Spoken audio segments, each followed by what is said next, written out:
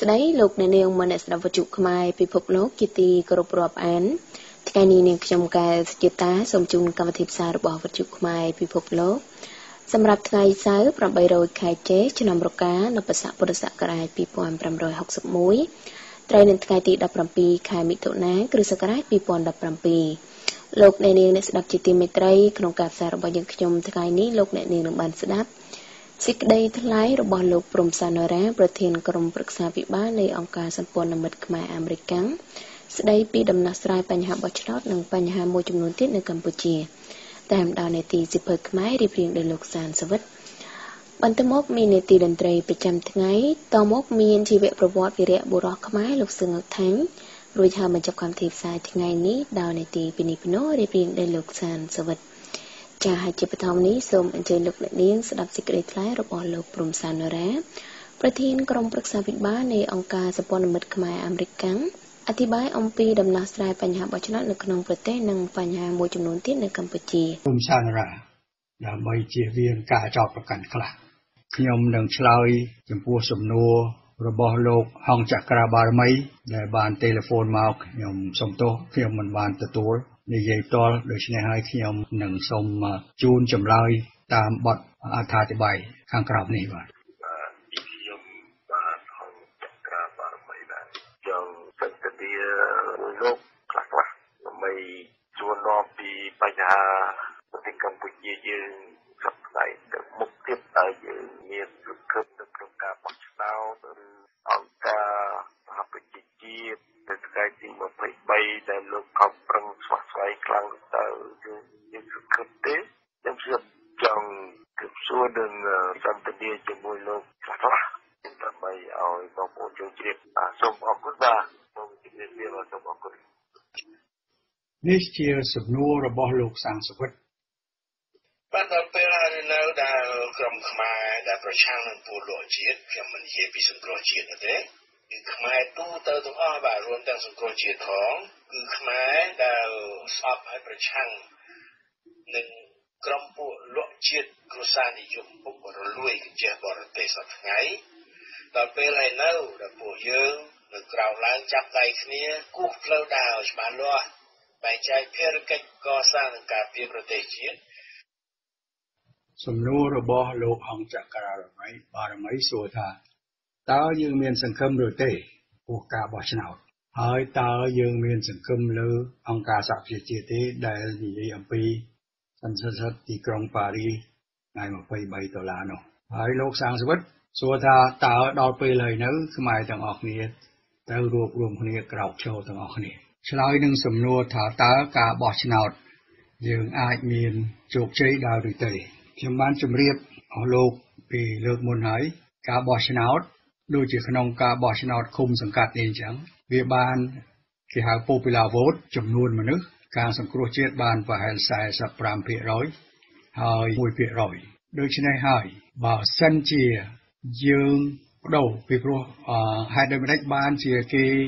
យកពី51%ហ្នឹងទៅជាចំនួនមេឃុំបានដល់ទៅ1160ហើយយើង48%ហ្នឹងបានតែ400 384ហ្នឹង ពីព្រោះអបមាថាឃុំដងអញ្ចឹងឃុំដងហ្នឹងបើយកឲ្យរាប់ទៅរាប់លើកទី1អឺសង្គ្រោះជាតិវាឈ្នះ3សម្លេងប៉ុន្តែដល់រាប់លើកទី2ហ្នឹងគេយកសញ្ញាឆ្នោតដែលតាថាមិនយកជាបានការហ្នឹងតែណាដែល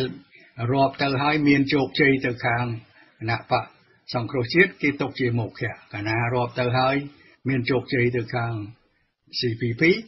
អាហ្នឹងគេយកជាបានការអាហ្នឹងហើយគេទៅជាគេឈ្នះគេធ្វើរបៀបយ៉ាងដូចនេះប៉ុន្តែបើក្នុងអនាគតប្រមាណថាភូមិដូងជាប់គ្នាជាមួយនឹងឃុំចន្ទ្រាខ្ញុំមិនដឹងជាប្រកាសឬមិនប្រកាសទេ ហើយចន្ទ្រាហ្នឹងយើងចាញ់ដូច្នេះហើយគេគេធ្វើរបៀបហ្នឹងឯងគេយកទៅហ៊ានគេយកទៅហ៊ានពីកន្លែងមួយដឹកទៅបោះឆ្នោតកន្លែងមួយទៀតទោះបីតែគ្នា200 300នាក់ ក៏គេធ្វើឲ្យឃុំមួយនោះឈ្នះដូច្នេះហើយអបមាថាយើងយកឃុំចន្ទ្រាហ្នឹងយើងចាញ់ឃុំចន្ទ្រាហ្នឹងយើងយកតែមនុស្ស50នាក់ពីខាងឃុំចន្ទ្រាយកមកបោះឆ្នោតខាងឃុំដងហ្នឹងទៅអាហ្នឹងយើងអាចឈ្នះយើងអាចនឹងពង្រីកចំនួនកៅអីនៅក្នុងការបោះឆ្នោតឆ្នាំ2018នឹងបានដូចជាខេត្តស្វាយរៀងអញ្ចឹងវាមានតំណាងរាស្ត្រ4នាក់ដូច្នេះហើយមណ្ឌលបោះឆ្នោតវាមាន4ដែរ ឆ្នាំ2013ហ្នឹងគេមានតែ2នាក់ទេដែលជាប់ដូច្នេះហើយបើយើងប្រើ strategy ដែលគេកំពុងតែធ្វើសពថ្ងៃហ្នឹងកន្លែងណា ក្នុងមណ្ឌល4ហ្នឹងយើងយកមួយកន្លែងណាដែលយើងប្រកាសជាចាញ់គេដកចំនួនមនុស្សខាងនោះឲ្យទៅបោះឆ្នោតនៅមណ្ឌលមួយទៀតបានស្ដីថាយ៉ាងម៉េចបានស្ដីថាអ្នកដែលធ្វើបញ្ជីហ្នឹងគឺបដូរមនុស្សពីខាង កន្លែងបោះឆ្នោតកន្លែងមួយទៅកន្លែងមួយទៀតអានេះជា strategy ជា technique ដែលលោកហ៊ុនសែនធ្វើសប្តាហ៍បានជាគេបដូរពី51%ទល់នឹង46ហ្នឹងវាទៅជា1160ទល់ជាមួយនឹងវា7500ហ្នឹងមួយទៀតកុំព្យូទ័រសប្តាហ៍នេះมันអាចនឹងมันបាច់នឹងឆែកឆេរមនុស្សដែលមានឈ្មោះពីរបានទេពីព្រោះកុំព្យូទ័រវា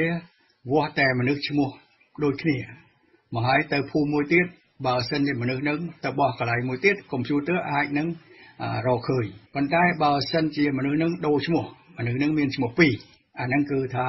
កុំព្យូទ័ររកមិនឃើញទេអាហ្នឹងជា technique មួយទៀតដែលគេធ្វើសពថ្ងៃគេយកពួកយួនពីរកន្លែងហើយគេលាងទឹកខ្មៅមករៀមដៃហ្នឹងមិនពិបាកទេ គេហៅ acetone ដែលស្រីស្រីគេលាងកញ្ចក់ហ្នឹង អាហ្នឹងគេយកទៅលាងស្អាតចេះអត់មានអីពិបាកទេថាតើយើងអាចមានផ្លូវឈ្នះទេថាមានផ្លូវឈ្នះដូចជាខ្ញុំបានជម្រាបហើយប្រជាពលរដ្ឋដែលទៅបោះឆ្នោតសប្តាហ៍ហ្នឹងវាតែ77%ទេនៅសល់23%ទៀតដូច្នេះហើយគណៈបកសង្គ្រោះជាតិអាចនឹងធ្វើនយោបាយបដូរដើម្បីពង្រីកអ្នកគ្រប់គ្រងឲ្យចូលមកបោះឆ្នោតខាងយើងច្រើនចេញពីចំនួនមនុស្ស23%ហ្នឹង អាហ្នឹងវាស្រួលជាងធ្វើទៅយកពីមនុស្សដែលនៅខាងគណៈបកប្រជាជនដូច្នេះហើយគឺថាយើងអាចធ្វើទៅកើតត្រូវធ្វើតាមសេចក្តីសន្យារបស់យើងធ្វើទៅជាមួយប្រជាពលរដ្ឋទៅប្រហែលហ្នឹងធ្វើទៅយើងមាន base នៅក្នុងកន្លែងជិត500ឃុំហ្នឹងគឺថាយើងអាចពង្រីកទៅឃុំជិតជិតនឹងបានប៉ុន្តែខ្ញុំបានជម្រាបអស់លោកហើយថា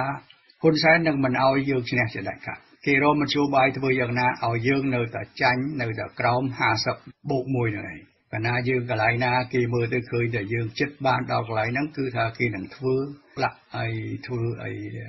កុំឲ្យយើងឈ្នះកើតដូច្នេះហើយលទ្ធផលឈ្នះក៏ចាញ់ចាញ់ក៏ចាញ់អានេះគឺគឺជាការដែលយើងទាំងអស់គ្នាត្រូវតែគិតឆ្លើយនឹងសំណួរថាតើអង្គការសហប្រជាជាតិដែល the Paris Peace Agreement 23អុកតូបឺឆ្នាំ1991នឹងអាចជួយយើងបានស្អីខ្លះអង្គការសហជីវជាតិគេបានប្រាប់យើងហើយ គេបានប្រាប់យើងថា អង្គការសហជីវជាតិអត់មានទៅហ៊ានទេ អង្គការសហជីវជាតិអត់មានលុយទេដូច្នេះហើយគេសូមឲ្យយើងរកបងធំសម្រាប់ជួយយើងហើយខាងអង្គការសម្ព័ន្ធមិត្តខ្មែរអាមេរិកហ្នឹងក៏កំពុងតែខំជួយនៅក្នុងរឿងហ្នឹងដូច្នេះហើយ បានជាយើងសម្រេចថាយើងបដូរតាក់ទិកបន្តិចបដូរយ៉ាងម៉េចយើងសូមឲ្យបង្កើតជាគេហៅថា Cambodia Contact Group CCG Cambodia Contact Group ហ្នឹងវាមានប្រទេស6គឺសហរដ្ឋអាមេរិកអង់គ្លេសបារាំងឥណ្ឌូនេស៊ីជប៉ុនហើយនិងអូស្ត្រាលីដើម្បីធ្វើឲ្យមានប្រសិទ្ធភាពក្នុងគោលបំណងនឹងហើយដែលយើងទៅសុំសភាអាមេរិកឲ្យគេជួយ ដើម្បីនឹងបង្កើត CCG នឹងយើងកំពុងតែធ្វើរាល់ថ្ងៃនេះយើងទៅសុំ CCG នឹងដើម្បីធ្វើអី CCG នឹងគឺថាដើម្បីជួយកាត់បន្ថយគំនាបរបស់ហ៊ុនសែនដែលទោះបីយើងឈ្នះក៏ចាញ់ចាញ់ក៏ចាញ់ណាចង់ឲ្យយើងឈ្នះវាប្រកាសជាឈ្នះយើងចាញ់វាប្រកាសជាចាញ់អានឹងហើយគឺគំនាបដែលយើងនឹងយកពី CCG នេះឯងនឹងឲ្យគេដាក់គំនាបឲ្យហ៊ុនសែននឹងគោរពច្បាប់ នឹងឲ្យគេប្រើបច្ចេកទេស technique នៅក្នុងការបោះឆ្នោតជួយយើងតទៅទៀតហើយយើងក៏នឹងសុំឲ្យគេជួយខាងច្បាប់ law គឺថាគេមានការពិសោធន៍ច្រើន នៅរឿងបោះឆ្នោតក្នុងពិភពលោកក្នុងរឿងធ្វើជាមួយនឹងអ្នកកាន់អំណាចផ្ដាច់ការប្រទេសផ្សេងផ្សេងហើយម្យ៉ាងទៀតគេក៏មានកងទ័ពសម្រាប់ទប់ទល់បើកាលណាធ្វើការទៅ ហើយវាមានការលំបាកខ្លាំងអាហ្នឹងគេអាចនឹងប្រើកងទ័ពប្រទេសធំធំដូចជាសហរដ្ឋអាមេរិកដូចជាអង់គ្លេសដូចជាបារាំងនឹងជាដើមនេះជាចម្លើយរបស់ខ្ញុំចំពោះសំណួរថាតើអង្គការសហជីវជាតិអាចធ្វើអីបាន តែការពិតទៅចម្លើយដែលធំជាងគេដូចខ្ញុំធ្លាប់ជម្រាបហើយវានៅក្នុងទឹកចិត្តរបស់ប្រជាពលរដ្ឋយើងដែលខ្ញុំតែងតែនិយាយជម្រាបថា បងប្អូនថាធម៌មឹកនោះខ្ញុំបានជម្រាបបងប្អូនថាបុណ្យគឺអំពើល្អអ្នកធ្វើបុណ្យគឺអ្នកធ្វើអំពើល្អធម៌មឹកមកពីពាក្យថាធធគឺអំពើល្អធម៌មឹកគឺជាអ្នកធ្វើអំពើល្អដូច្នេះអ្នកមានបុណ្យគឺធម៌មឹកក្នុងប្រស្នាដែលគេបាននិយាយជាយូរយារមកហើយគេថាប្រទេសកម្ពុជាយើងនឹងមានធម៌មឹកមកជួយដោះប្រទេសយើងធម៌មឹកនោះឯងជិះសេះស កាន់ដាវផ្លេកផ្លេកសេះសនេះជាតំណាងភាវៈល្អសេះសជាការគ្រប់គ្រងល្អតាមលទ្ធិប្រជាធិបតេយ្យយកប្រជាពលរដ្ឋជាធំ អ្នកតូចតាចជាធំ មិនធ្វើបាបប្រជាពលរដ្ឋមិនលួចដីមិនប្លន់ប្រជាពលរដ្ឋនេះហើយសេះហើយដាវជាអំណាចដាវជាការគ្រប់គ្រង ការគ្រប់គ្រងតាមរបៀបប្រជាធិបតេយ្យហើយផ្លេកផ្លេកហ្នឹងគឺសំអាងពីយើងប្រាជ្ញា គឺអ្នកធម្មឹកនឹងឯងគឺជាអ្នកស្នេហាជាតិគឺជាអ្នកដែលប្រើអំពើល្អដែលជាអ្នកប្រើប្រាជ្ញាទៅដោះស្រាយបញ្ហាប្រទេសជាតិតាមរបៀបប្រជាធិបតេយ្យគោរពសិទ្ធិមនុស្សនឹងហើយជាធម៌មឹកដូច្នេះហើយធម៌មឹកមិនមានអ្នកណាក្រៅពីយើងទាំងអស់គ្នាជាខ្មែរដែលស្រឡាញ់ធិប្រជាធិបតេយ្យដែលស្រឡាញ់សិទ្ធិមនុស្ស ដែលគោរពជាបរិបទតូចតាចទាំងអស់គ្នានេះទេដូច្នេះហើយធម៌មឹកនឹងគឺយើងទាំងអស់គ្នានឹងហើយបានជាខ្ញុំតែងតែនិយាយថាសូមឲ្យធម៌មឹកទាំងអស់ក្រោកឈរទាំងអស់គ្នានេះជាចម្លើយអង់គ្លេសហៅថា hidden message hidden message ហ្នឹងគឺថាបើខ្ញុំនិយាយឲ្យហួសពីកន្លែងហ្នឹងគេអាចយកទៅចោទប្រកាន់កើតប៉ុន្តែខ្ញុំតែងតែនិយាយជម្រាបបងប្អូនថា បើសិនជាអស់លោកទាំងអស់គ្នាក្រោកឈរទាំងអស់គ្នាហើយមានអ្នកខ្លះគេសួរខ្ញុំថាក្រោកធ្វើម៉េចបានទាំងអស់គ្នាកើតខ្ញុំសូមជម្រាបថាកាលពីឆ្នាំ1800ពី42ទៅដល់46ហ្នឹងកងទ័ពយួនហ្នឹងគេកាន់កាប់ស្រុកខ្មែរយើង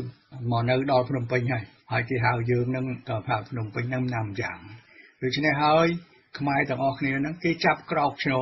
គេដឹងថាគេអស់ទឹកគេអស់ដីហើយគេក៏ សម្រាប់ពួកយួនហ្នឹងដូច្នេះហើយរឿងហ្នឹងវាបែកវាបែកសារពីភូមិមួយទៅភូមិមួយចឹងទៅយុគមួយហ្នឹងគឺថាមនុស្សទាំងអស់គ្នាហ្នឹងគេក្រោកឈរនៅភ្នំពេញហ្នឹងគេឡើងកាប់យួនបដ ாய் ដូច្នេះហើយរឿងហ្នឹងក៏មិនខុសគ្នាដែលខ្ញុំចង់ជម្រាបបងប្អូនដែរមិនមិនអាចថាយើងចង់ក្រោកឈរហើយអាចនឹងក្រោកឈរទាំងអស់គ្នាតែម្ដងកើតទេលុះត្រាតែបងប្អូនទាំងអស់គ្នាខ្ញុំបានជម្រាបហើយខ្ញុំថានៅក្នុងឃុំនីមួយនីមួយ បើអបប្រមាថាមានគេធ្វើជាមេឃុំក៏ដោយចន្ទុកក៏ដោយគ្នាវាមិនប្រមាណអ្នកទេវាហែល10អ្នកប៉ុណ្្នឹងឯងវាមានមេឃុំវាមានចន្ទុកវាមានប៉ូលីសអីប្រមាណអ្នកចឹងបើសិនជាខ្មែរធម្មឹកទាំងអស់ក្នុងឃុំនីមួយនីមួយ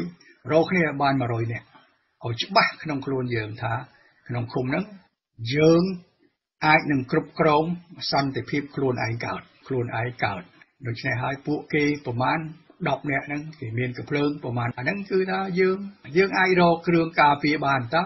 កភ្លើងសពថ្ងៃក៏គេលក់ក៏មានអីហូរហែចឹងដូច្នេះហើយយើងអាចរករបៀបការពារខ្លួនយើងយើងអាចយកជ័យជំនះនៅក្នុងឃុំរបស់ខ្លួននីមួយៗបាន ពេលនោះហើយឃុំនីមួយៗអាចការពារឃុំរបស់ខ្លួនបានហើយដូច្នេះខេត្តនីមួយៗក៏យើងអាចការពារខេត្តរបស់យើងបានដូច្នេះហើយ នៅទីក្រុងភ្នំពេញយើងដឹងហើយនៅទីក្រុងធំធំយើងដឹងហើយគឺថាយើងមានគ្នាយើងច្រើនហើយកងទ័ពទាំងអស់80%របស់កងទ័ពហ្នឹងគឺថាគេរងចាំតែប្រជាពលរដ្ឋជាអ្នកក្រោកឈរបង្ហាញផ្លូវគេថាយើងចង់បានអីពីព្រោះគេក៏ស្រឡាញ់លទ្ធិប្រជាធិបតេយ្យដែរវាមានតែមនុស្សខូចខូចមួយចំពោះប៉ុណ្្នឹងទេដែលវាបានកម្រៃវាបានប្រយោជន៍អំពីការធ្វើបាបប្រជាពលរដ្ឋនេះ ពេលនោះដូចខ្ញុំបានជម្រាបថា2018ហ្នឹងបោះឆ្នោតឈ្នះក៏ចាញ់ចាញ់ក៏ចាញ់បើសិនជាខាងអង្គការអន្តរជាតិគេធ្វើឲ្យនៅតែមិនជោគជ័យទៀតពេលនឹងហើយដែលបងប្អូនត្រូវតែក្រោកឈរទាំងអស់គ្នា ពេលនឹងហើយសូមបងប្អូនរងចាំស្ដាប់ដូចខ្ញុំជម្រាបឲ្យទីហោពីឆ្នាំ1846អញ្ចឹងគឺថា វាមានហេតុផលបងប្អូនទាំងអស់គ្នាឃុំនីមួយនីមួយត្រូវស្គាល់គ្នាអ្នកដែលនៅឃុំជាប់ជាប់គ្នាហ្នឹងយើងនិយាយគ្នាយើងចរចាជាមួយគ្នាយើងដឹងទឹកចិត្តគ្នាទៅវិញទៅមកអបមាថានៅអីភ្នំពេញវាមានសង្កាត់ទូរកោកវាមានសង្កាត់ស្អីជាប់ជាប់គ្នាគីឡូលេខ6សង្កាត់ឬស្អីកែវសង្កាត់អីចឹងគឺថាយើងរៀបចំគ្នាយើងហើយនឹងអ្នកនៅចិត្តចិត្តគ្នានឹងឲ្យដឹងគ្នាដឹងថាឥឡូវ អ្នកនេះត្រូវធ្វើអីយើងមានទូរស័ព្ទយើងសនុកហៅគ្នាតាអាហ្នឹងគឺថាយើងសម្រេចទៅយើងសម្រេចថាធ្វើថ្ងៃណាយើងហៅចុះហៅឡើងទៅយើងនិយាយធ្វើគ្នាធ្វើទៅបានតាអានេះជាតិចនិចដែលខ្ញុំជូនបងប្អូនឆ្លើយនឹងសំណួរ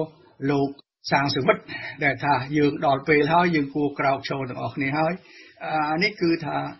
លុះត្រាតែបងប្អូនទាំងអស់គ្នា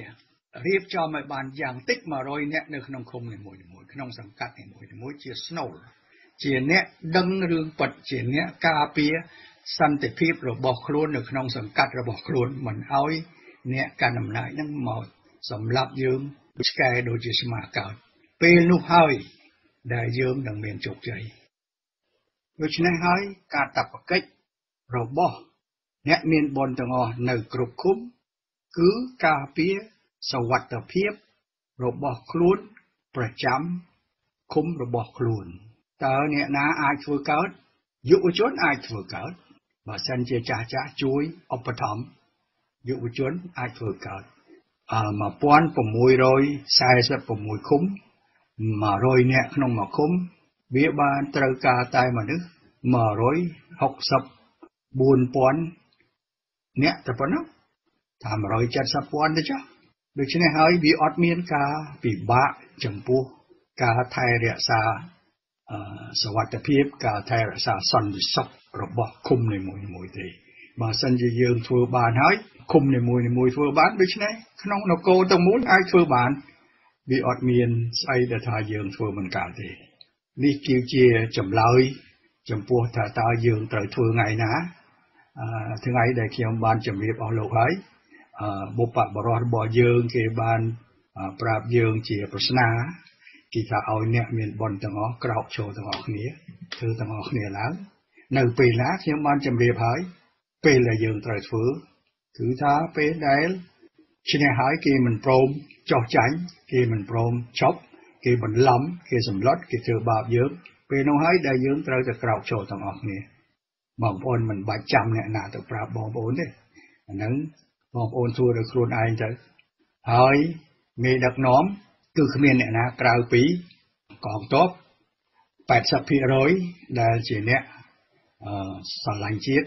ដែលជាអ្នកការពារជាតិនោះទេពេលនោះហើយវាអាចនឹងមានរដ្ឋាភិបាលបណ្ដោះអាសន្នមួយសម្រាប់បង្កើតឲ្យមានការបោះឆ្នោតដោយត្រឹមត្រូវហើយបន្ទាប់ពីនោះទៅ អ្នកណាដែលឈ្នះពេលបោះឆ្នោតត្រឹមត្រូវហើយ ពេលនោះអ្នកនោះហើយជាអ្នកគ្រប់គ្រងប្រទេសខ្ញុំបានជូនជាសារជូនបងប្អូនតាមខូដតាមរបៀបដែលខ្ញុំនិយាយទៅកើតដែលมันអាចធ្វើឲ្យមានគ្រោះថ្នាក់ហើយបងប្អូនយកទៅពិចារណាដោះស្រាយប្រស្នាហ្នឹងទៅដូច្នេះហើយខ្ញុំជាទីបញ្ចប់សូមអរគុណ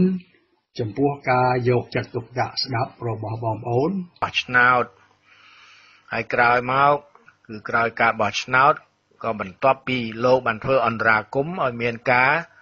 រឹបសញ្ញាឆ្នោតប្រកបដោយតម្លាភាពគឺហាមមិនឲ្យបិទទ្វារការិយាល័យបោះឆ្នោតដើម្បីរឹបសញ្ញាឆ្នោតដោយដល់ពួកចង្រៃនោះវាចង់ធ្វើបាទតាមប្រភពខ្លះគេថាជនកំហួយនោះមានគ្នាវា2នាក់ទៀតដែលកាន់ធុងសាំងចាំចាក់ដុតផ្ទះនៅឯខាងក្រៅ បាទជាសំណាងហើយដែលអ្នកទាំងពីរគឺលោកហ៊ុនយ៉ននិងភរិយាពុំបាន បាត់បង់ជីវិតក្នុងការត្រូវកាប់ដោយពូថៅហើយចាក់ដោយកំបិតនៅលើកចុងក្រោយ ដែលចាំបាច់ត្រូវដឹកទៅព្យាបាល មុខរបួសនៅឯស្រុកសៀមបាទលោកហ៊ុនយ៉នបានអំពាវនាវសូមឲ្យបងប្អូនខ្មែរឯនាយសមុទ្រជួយឲ្យលោក អាចសាងសង់ផ្ទះ ដែលធានាសុវត្ថិភាព បានជាងសពថ្ងៃលោកថានឹងធ្វើផ្ទះដែកខ្ញុំក៏មិនដឹងថាផ្ទះដែកបែបណាទេប្រហែលជាទ្វារដែកឬស្អីហ្នឹងបាទក្នុងតម្លៃ1000ដុល្លារបាទខ្ញុំសូមពីនីដល់សប្បុរសជនដែលមានចិត្តសប្បុរសធម៌ចង់ជួយដល់ខ្ញុំបាទព្រោះខ្ញុំបាទផ្ទះពុំមានសុវត្ថិភាពនឹងអាចយកនៅទីនោះបានទេព្រោះផ្ទះតូច អញ្ចឹងខ្ញុំបើសិនវាអាចជួយបានខ្ញុំសូមទៅ1000ដុល្លារអាចធ្វើផ្ទះបាននៅហើយធានាសុវត្ថិភាពបានដោយសារខ្ញុំធ្វើផ្ទះដែកណាបងអរគុណបងដែលបានជួយខ្លះខ្លែងបងបាទបើលោកអ្នកនាងមិត្តអ្នកស្ដាប់ណាមានលទ្ធភាពនិងប្រាថ្នាចង់ជួយដល់លោកអតីតចង់វ៉ាងសាលាបឋមសិក្សាអូតាគីសូមជួយផងបាទ ក្រោយបានដំណឹងនេះហើយលោកលឹមគ្រីស្ណាខ្មែរអាមេរិកាំងនៅរដ្ឋ Virginia បានផ្ញើប្រាក់100ដុល្លារមកខ្ញុំបាទតាមរយៈ PayPal សូមឲ្យជួយផ្ញើបន្តគឺចូលរួមជាមួយនឹងប្រាក់ដែលខ្ញុំបានប្រមូលបាន300ហើយដូច្នេះពេលនេះយើងមាន400ដុល្លារហើយបាននៅខ្វះ600ទៀតបើសិនជាលោកអ្នកនាងណាមេត្តាអឺចង់ជួយ គឺជួយខ្មែរដែលមិនលក់ឧត្តមគតិ ខ្មែរដែលស្គាល់ខុសស្គាល់ត្រូវដោយលោកហ៊ុនយ៉នត្រកូលហ៊ុនដែរតែមិនមែនហ៊ុនកញ្ចេះយួនដោយត្រកូលរបស់អាខ្វាងបាទអរលោកអ្នកនាងមិត្តស្ដាប់ជាទីគោរពរាប់អានលោកអ្នកនាងច្បាស់ជាបានជ្រាបហើយថាអាខ្វាង វាបាននិយាយលក់លើយឲ្យលោកសំរងស៊ីយ៉ាងសាហាវដោយម្ដេចខ្លះក្រោយដែលវាបានបញ្ជាឲ្យមេសៀប៊ិនឈិន ដែលមកកាន់តំណែងជំនួសខ្មោចហូវ៉ាន់អាន់ឬក៏សុកអាននឹងលុបបំរាម ហាមក្រុមហ៊ុនអាកាសចរបរទេសដឹកលោកសំរងស៊ីចូលស្រុកខ្មែរតាមការទៀមទារបស់លោកសំរងស៊ីដែលថាបើអាខ្វាងក្លាហានហ៊ានលុបបំរាមនោះចោលលោកក៏នឹងក្លាហានហ៊ានត្រឡប់មកស្រុកខ្មែរភ្លាមដែរបាទកាលពីថ្ងៃទី15មិថុនាម្សិលមិញ អានាយករដ្ឋមន្ត្រីលើករូបនេះវាប្រកាសប្រាប់គេឯងថាសំរងស៊ីមិនហ៊ានត្រឡប់មកទេព្រោះមិនក្លាហាន វាខំលុបបំរាមដែលវាអួតអាងថា វាដាក់ដើម្បីជួយជីវិតលោកសំរងស៊ីក្នុងចេញតែលោកសំរងស៊ីបែរជាមិនហ៊ាន ត្រឡប់មកស្រុកខ្មែរតាមអំនួតវាថាហេតុផលគឺលោកសំរងស៊ីខ្លាចជាប់គុកមើលអ្នកក្លាហានសូមជួយ ធ្វើចំហហើយពីមុនខ្ញុំគិតសុវត្ថិភាពលោកតែឥឡូវដោយសារលោកថាមកព្រាមមកព្រាមខ្ញុំក៏អត់ព្រាមនោះអត់តាមបាន10ម៉ោងផងដូរចិត្តថាអត់មកទេចាំច្បាស់លាស់សិនសវត្ថភាពស្អីគាត់អញ្ចឹងបានជា អត្ថាធិប្បាយចុងក្រោយគេថាតាបិទកតុយចុងក្រោយរបស់ខ្ញុំថាខ្ញុំលើកជាសមុទ្រថាអ្វីជាឧបសគ្គសម្រាប់ការវិលត្រឡប់គឺគុកហើយបើគុកជាឧបសគ្គមួយជីវិតនេះគាត់អត់មកទេព្រោះគុកវាមិនដែលឆេះអស់ទេឆេះអស់មួយទៅសល់មួយទៀតនោះក៏ឆ្ងល់ ចំពោះរឿងត្រឡប់មកស្រុកខ្មែរឬមិនត្រឡប់មករបស់លោកសំរងស៊ីវាជាការសម្រេចចិត្តរបស់លោកអាខ្វាងវាថាសំរងស៊ីខ្លាចជាប់គុកសួរថាតើមាននរណា ដែលក្លាហានហ៊ានជាប់គុកឬក៏ចង់ជាប់គុកនោះបើអាចជៀសវាងបានសំរងស៊ីអាចនិយាយថាបើហ៊ុនសែនក្លាហានមែនគួរតែហ៊ានតស៊ូមួយទល់នឹងមួយដោយមេតបកុនរឿងសាមកុកវ៉ា នៅប្រជាប្រិយភាពរបស់សំរងស៊ីនិងហ៊ុនសែននៅក្នុងការបោះឆ្នោតសម្ដែងប្រជាមតិដែលលុបចោលបំរាម និងដីកាតុលាការឲ្យចាប់ខ្លួនសំរងស៊ីទាំងអយុធធរទាំងឡាយនោះក៏ប៉ុន្តែអាក្របីខ្វាងវាព្យាយាមនិយាយយកបងដាក់ខ្លួនវា ទាំងដែលគឺវានឹងហើយ ដែលជាអ្នកនៅពីក្រោយការរារាំងបង្កើតឧបសគ្គគ្រប់បែបយ៉ាងចំពោះលោកសំរងស៊ីខ្ញុំក៏ទូរស័ព្ទទៅបញ្ឈិនអបញ្ញរដ្ឋមន្ត្រីនិងជារដ្ឋមន្ត្រីស្ដីគីទីទីហ្វេកាក្រារទៅឲ្យលុបចោលអសចំណមុនដើម្បីបោកច្រកឲ្យអ្នកក្លាហានចូល ការពិតអាសចំណមុនមានគោលដៅការពារសុវត្ថិភាពជីវិតគាត់ទៅត្រង់សុខចិត្តឲ្យគេខ្មាស់យឿនឲ្យគេដៀលខ្មាស់ព្រោះច្បាស់ណាស់ថាបើខ្ញុំបានប្រកាសហើយថាខ្ញុំសុខចិត្តកាត់ដៃស្រាំរបស់ខ្ញុំក្រាត់ចោលគឺខ្ញុំមិនលើកលែងទោសឲ្យទេព្រោះពីរដងរួចហើយ វាគ្មានលើកទី3កើតឡើងទៀតទេ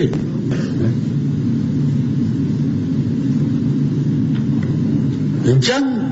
ការទោះទីទុកជាមុនច្បាស់ជាមានបញ្ហាហើយរហូតដល់អាយុជីវិតផងប៉ុន្តែដើម្បីឲ្យអ្នកក្លាហានមានលទ្ធភាពថាទោះជាមកជួបគុកឬស្លាប់ក៏ត្រូវតែមក អានេះអបមកសេះមកហើយចាំមើលយ៉ាងម៉េចមាននរណាហ៊ានសម្លាប់លោកសំរងស៊ីហ៊ានធ្វើអ្វីយុគយៈលើរូបលោកសំរងស៊ីបើអាខ្វាងវាមិនមិចភ្នែកដែលសល់តែមួយខាងរបស់វាឲ្យឃាតករសម្លាប់ទេនោះក្រែងវានឹងធ្វើអងអាត់នៅស្រុកខ្មែរក្រែងវានឹងដែលប្រកាសថាបើមិនមានវា ប្រទេសនឹងមានសង្គ្រាមឬក៏កើតកលីយុគនឹងមិនខុសពីករណីរបស់លោកកែមលីនោះឡើយ អាក្របីខ្វាក់វាដឹងបាទវាមិនមែនមិនដឹងទេថាអ្នកណានៅពីក្រោយការសម្លាប់លើនោះ វាអួតថាវាដឹងការសម្ងាត់អស់គ្រប់មិនថារឿងណាទេទោះជា អ្នកណាលួចផោមក្នុងទឹកក៏វាដឹងដែរ បាទរឿងចាប់លោកសំរងស៊ីគឺជាកលល្បិចរបស់ពួកអាចង្រៃនេះដើម្បីបំបែកមេដឹកនាំសង្គ្រោះជាតិវាខំបញ្យុះហើយកឹមសុខាវាប្រហាសំរងស៊ីគឺធ្វើយ៉ាងណាឲ្យអ្នកទាំងពីរបែកបាក់គ្នាលើកាយសាសាតែមើលសាលេងតាម Facebook របស់ខ្លួនក្នុងឋានៈជាអ្នកអំពាវនាវមានភាពស្ងប់ស្ងាត់សម្រាប់ឯងនៅពិធីបុណ្យទាន អានោះវាជាប់ជួនជាមួយនឹងអ្វីដែលខ្ញុំអំពាវនាវឲ្យស្ងប់ស្ងាត់ហ្នឹងហើយតែវាមកកព្រាមមើលខ្ញុំស្ដាប់ហើយខែជឿខ្ញុំខ្ញុំបានខ្ញុំជំរាបកាយច្បាស់ខ្ញុំអាចធ្វើការជាមួយខែបានប៉ុន្តែរឿងបញ្ញារាំងស៊ីខ្ញុំមិនលើកលែងទេបើ សិនជាថាខែនៅទៅជាប់ខ្លួនខែក៏ព្រោះថ្នាក់ដែរខ្ញុំអត់កុំថា1កុំថា2 5ក៏ខ្ញុំលេងដែរប៉ុន្តែសូមកុំភ្លេចថាហើយខ្ញុំអត់ខ្លាចទេទោះបីថាអាមេរិកលើកតបចូលស្រុកខ្មែរសាកល្បងមើលទៅខ្ញុំអត់ខ្លាចទេវាមិនខ្លាចតបអាមេរិកកាំងព្រោះវាអាងយួនអាងចិនឬអ្វី មនុស្សដែលបានតែមាត់អួតអាងដោយអាខ្វាងនេះ វាមានខ្នងបាទវាហ៊ានធ្វើព្រោះវាមានខ្នងអរលោកនាងមានស្ដាប់ជាទីគោរពរាប់អាននៅថ្ងៃម្សិលមិញយើងទាំងឡាយបានឃើញសេចក្តីជូនដំណឹងមួយ នៅលើទំព័រ Facebook របស់លោកសំរាស៊ីហើយនិងមន្ត្រីសង្គ្រោះជាតិមួយចំនួន ដែលមានចំណងជើងថាហ៊ុនសែនចង់បង្កសង្គ្រាម មានជាភាសាបារាំងភាសាអង់គ្លេសនិងភាសាខ្មែរ បាទខ្ញុំសូមអានអត្ថបទដែលរួមមានប័ណ្ណបញ្ជារបស់អាហ៊ុនខ្វាងទៅកាន់មេបញ្ជាការកងកម្លាំងប្រដាប់អាវុធរបស់វានៅស្រុកខ្មែរដូចតទៅនេះបាទប័ណ្ណបញ្ជាសម្ងាត់ដែលហ៊ុនសែនសរសេរទៅកាន់មេបញ្ជាការកងកម្លាំងប្រដាប់អាវុធសម្រាប់អនុវត្តលើរូបលោកសំរងស៊ីបទបញ្ជានេះបង្ហាញឲ្យឃើញថាហ៊ុនសែនរៀបចំបង្កសង្គ្រាម និងសម្លាប់ប្រជាពលរដ្ឋ ពេលសំរងស៊ីវិលត្រឡប់មកប្រទេសកម្ពុជាវិញនេះក៏ជាលេសមួយទៀតដើម្បីរំលាយគណៈបកសង្គ្រោះជាតិផងដែរតែនេះគឺជាបទបញ្ជានោះជូនថ្នាក់ដឹកនាំគ្រប់ថ្នាក់ពិសេសមេបញ្ជាការកងកម្លាំងប្រដាប់អាវុធថ្ងៃនេះខ្ញុំបញ្ជាឲ្យលុបចោលសជូណដែលហាមឃាត់មិនឲ្យក្រុមហ៊ុនយន្តហោះដឹកសំរងស៊ីចូលមកកម្ពុជា ដែលសជូណឬក៏សេចក្តីជូនដំណឹងនោះ យើងមានបំណងល្អដើម្បីជៀសវាងការបង្ហូរឈាមណាមួយ ពិសេសការស្លាប់របស់សំរងស៊ីតែបំណងល្អនេះត្រូវបានសំរងស៊ីប្រើជាលេសថាយើងរៀបរៀងមិនឲ្យវាចូលមកប្រទេសកម្ពុជាវិញនេះគ្រាន់តែលុបចោលបំរាមនៃការធ្វើដំណើរតាមយន្តហោះប៉ុណ្ណោះមិនមែនជាការលើកលែងទោសឲ្យសំរងស៊ីទេសំរងស៊ីនៅតែជាអ្នកមានទោស ដែលកម្លាំងអនុវត្តច្បាប់ត្រូវតែអនុវត្តតាមសាលដីកាតុលាការចាប់វាញាត់គុកឲ្យខាងតែបានទោះដោយតម្លៃណាក៏ដោយមិនអាចឲ្យអាមួយនេះរួចខ្លួនបានឡើយ ការចាប់សំរងស៊ីត្រូវធ្វើនៅលើយន្តហោះតែម្ដងដោយឲ្យយន្តហោះទៅចតនៅប្រលានយោធា ប្រសិនបើនៅភ្នំពេញករណីនៅសៀមរាប ឬខេត្តព្រះសីហនុត្រូវរកទីតាំងណាមួយ សមស្រប ក្រៅពីចំណត់អ្នកដំណើរបណ្ដាអង្គភាពនៃកងទ័ពស្រួចត្រូវត្រៀមអន្តរាគមកំតិចចោលនៅកម្លាំងណាក៏ដោយ ដែលរារាំងការអនុវត្តច្បាប់បទបញ្ជានេះអនុវត្តដោយស្ងាត់ស្ងៀមពេលសភាពការកើតឡើងត្រូវពង្រីកមុខសញ្ញាទៅកាន់កន្លែងផ្សេងទៀតតាមការចាំបាច់និងត្រូវរងចាំបទបញ្ជាបាទយើង យករឿងនេះមកប្រៀបធៀបទៅនឹងសម្ដីរបស់អាសម្ដេចខ្វាង ដែលវានិយាយដោយមនុស្សស្រវឹងក្ដួច តាមតែវានឹកឃើញថានិយាយយ៉ាងណានឹងពីរឿងអ្វីដែលវាបានប្រយោជន៍ព្រោះចេះអានេះក្រន់តែការលើកបំរាមដើម្បីបំរាមមុនគឺក្នុងគោលដៅបញ្ជាគ្រោះថ្នាក់មិនមែនបិទសិទ្ធប៉ុន្តែគាត់យកទៅជាបញ្ហាថាយើងបិទសិទ្ធទៅវិញ តែសម្រាប់អ្នកគ្រប់គ្រងប្រទេសយើងមិនចង់ឲ្យមានហិង្សាកើតឡើងទេព្រោះតែចុះដល់ដីក្រឹបច្បាស់ណាស់ថាការចាប់ខ្លួនមួយនឹងត្រូវធ្វើហើយព្រោះអានេះអំណាចតឡាការគេបញ្ជាដោយព្រះអាជ្ញានឹងនគរបាលយុទ្ធធរគេទៅចាប់ហើយណា ជាប់គុកប្រមាណអីប្រមាណរឿងហ្នឹងព្រោះអានោះគេជាប់នៅក្នុងសាលក្រមចិត្តនាយករដ្ឋមន្ត្រីទៅគិតខ្លាំងណាស់ហ្នឹងដោយសវត្ថភាពរបស់ប្រទេសប៉ុន្តែត្រូវបានបកស្រាយថាយើងជាអ្នកខ្លាចគាត់ណាទេអោអើខ្លាចក៏ខ្លាចចឹងធ្វើម៉េច គាត់ជាអ្នកបកែដល់ហើយឯងលើអ្នកអន់បើស្ដាប់ហ៊ុនសែននិយាយប៉ុណ្ណេះអ្នកដែលមិនដឹងរឿងប្រហែលជាជឿថាហ៊ុនខ្វាងជាកម្ពូលមេដឹកនាំស្នេហាជាតិក៏ប៉ុន្តែអ្នកដែលស្គាល់ហ៊ុនសែនគេប្រាប់ថាអាម្នាក់នេះវាអស់សាច់ទៅហើយអស់ជំរើសគឺវានៅក្នុងអាណត្តិរបស់យួនពេញធឹងបើប្រៀបទៅនឹងមហារាជ គឺដល់ថ្នាក់ស៊ីដល់ខួរឆ្អឹងទៅហើយបាទ irretrievable มันអាចយកមកលាងទឹកប្រើបានទៀតទេអរលោកអ្នកនាងមានស្ដាប់ជាទីគោរពរាប់អានរឿងអស់នេះខ្ញុំនៅតែជឿថាអ្វីដែលលោកសំរាស៊ីនិយាយគឺលោកអាចប្រាប់ទៅអាសម្ដេចខ្វាងថាបើអាឯងគិតថា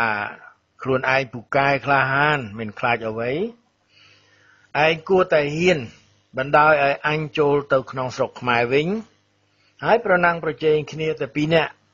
មិនបាច់មានល្បិចយកតឡាការទីងមងមកចងដៃចងជើង យកបណ្ដឹងរឿងនេះរឿងនោះដែលមិនសមហេតុសមផលមកប្តឹងដើម្បីរំខានគូសត្រូវដោយដែលឯងបាននឹងកំពុងតែធ្វើនោះទេលុបចោលបំរាមទាំងឡាយដែលហាមិនឲ្យអញចូលស្រុក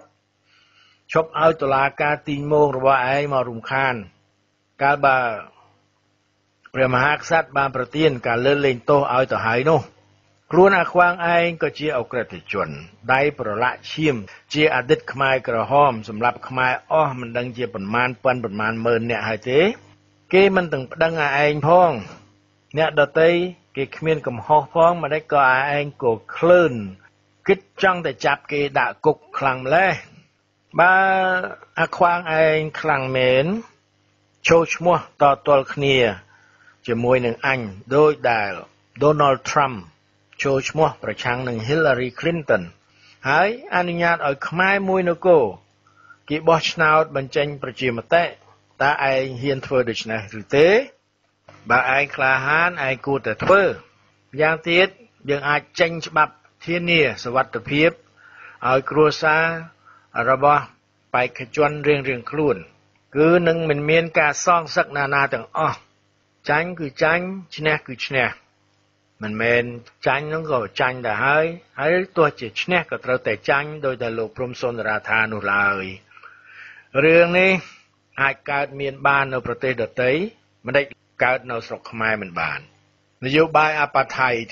របបគ្រប់គ្រងប្រកាន់ពូជសាសន៍នៅអាហ្វ្រិកខាងត្បូងគេថាវាតឹងរឹងខ្លាំងណាស់ទៅហើយ តែគេនៅអាចសម្របសម្រួលគ្នាបាន មានការជានាជាតិមានស្អីរវាងស្បែកខ្មៅស្បែកសបាន នៅភូមិរបបយោធាប្រជាការវាខ្លាំងក្លាខ្លាំងណាស់យ៉ាងណាយើងដឹងទាំងអស់គ្នាទៅហើយតែនៅទីបំផុតក៏យល់ព្រមឲ្យបដូរទៅជាលទ្ធិប្រជាធិបតេយ្យទោះជាមិនទាន់ពេញធឹងតែក៏ល្អប្រសើរជាងសម័យនេវិន ឬឧត្តមសេនីយ៍ផ្សេងផ្សេង ជាបន្តបន្ទាប់មករាប់ទសវត្សរ៍នោះបើខ្មែរជាខ្មែរមែនមិនមែនជាពួកបលាំងកាសឬឆ្កែចចកនៅក្នុងស្បែកជៀមខ្មែរអាចផ្លាស់ប្ដូរបានអរលោកនាងមានស្ដាប់យទីគ្រប់រាប់អានមុននឹងបញ្ចប់ពីនេះពីនោះថ្ងៃនេះខ្ញុំសូមបន្ថែមបន្តិចព្រោះទៅតែនឹងបើកអ៊ីមែលទៅឃើញសម្បត្តិរបស់លោកក្មួយ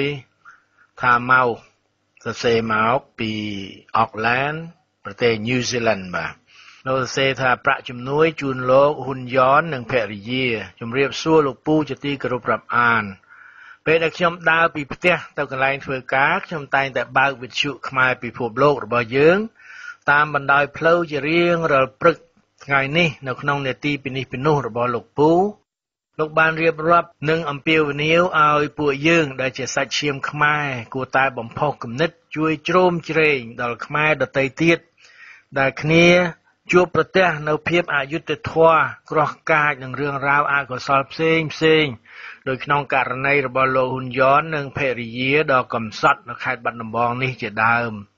ខ្ញុំបាទសូមលើកដៃគ្រប់គ្រងនៅគំនិតរបស់លោកពូនេះទាំងស្រុង មុននេះបន្តិចខ្ញុំបាទបានផ្ញើប្រាក់បន្តិចបន្តួចជូនលោកពូដោយពេលមុនមុនហើយ សូមលោកពូមេត្តាជួយបញ្ជូនបន្ត ដល់លោកហ៊ុនយ៉ននិងភរិយាដែលកំពុងត្រូវការជំនួយរបស់កនយើងនេះផងប្រាក់នេះសូមលោកពូដកយកថ្លៃសេវាផ្សេងផ្សេងមុននឹងបញ្ជូនបន្តទៅលោកទាំងពីរខ្ញុំមកថានិងភរិយាច័ន្ទលីដា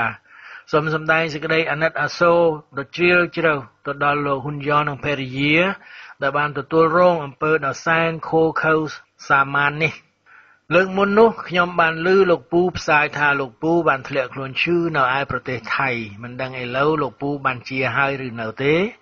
សូមឲ្យលោកពូជួបប្រទះតែសេចក្តីសុខបាទសូមអរគុណលោកក្មួយដែលផ្ញើមកជួយវិទ្យុខ្មែរភពលោកហើយនៅជួយ